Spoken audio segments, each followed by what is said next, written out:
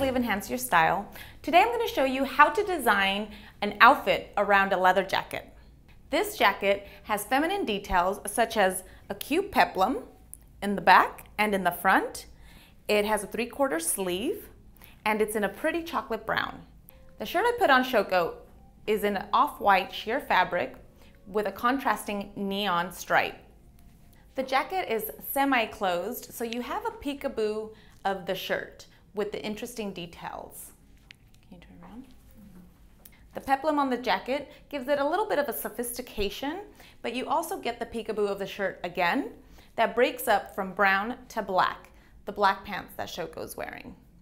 Also, the metallic silver shoes Shoko has links to the hardware from the jacket. This is how to design an outfit around a leather jacket. I hope you've enjoyed it. Thank you.